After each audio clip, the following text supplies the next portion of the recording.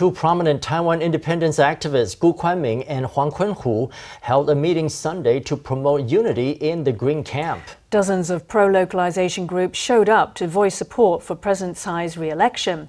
President Tsai, a moderate, said at the event that while in the past they may have had differing points of view, in the future they would all stand together and jointly work for an election win.